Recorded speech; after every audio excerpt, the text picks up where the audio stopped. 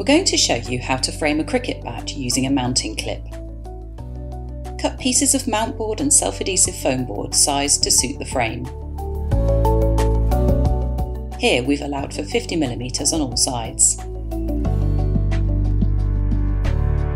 Bond the foam centre board to the mount board. This gives added rigidity. Centre the clip on the mount board, then lay the bat into the toe holder clips without pushing the handle into the retaining arms.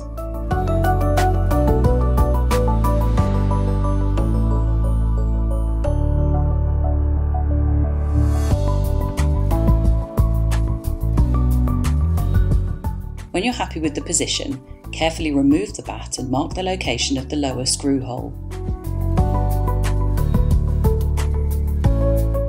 Where you screw through the top slot depends on which way round you're fixing the bat.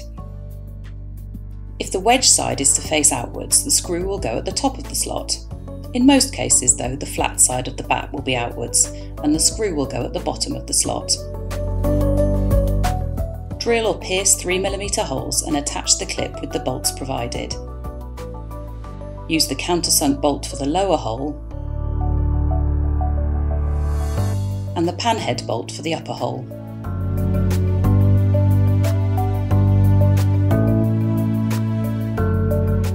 Place washers at the back of the foam board to spread the load and secure with the nuts. Cut off the excess thread with a hacksaw or small rotary cutter.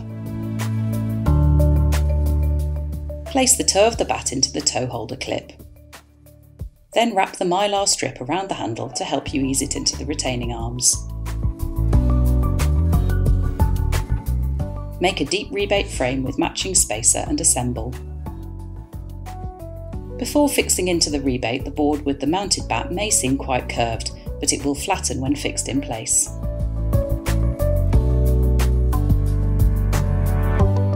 Don't forget to like and subscribe, and visit lionpic.co.uk for more information.